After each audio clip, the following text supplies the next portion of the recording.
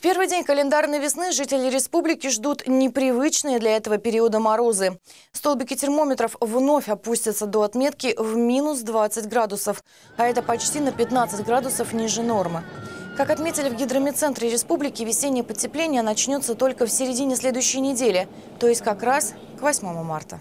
Однако начало календарной весны будет аномально холодным. Под влиянием области высокого давления сохранится ясная, без осадков погода. Ночное выхолаживание приведет к понижению температуры до 20-25 градусов мороза, а днем прогрев будет составлять 6-11. В воскресенье температура ночью уже составит минус 10-15 градусов местами до 20, днем минус 4, минус 9. Ветер восточный 4-9 метров в секунду. В начале недели южный циклон принесет осадки, а со второй половины следующей недели температура воздуха придет в норму и даже будет выше нормы.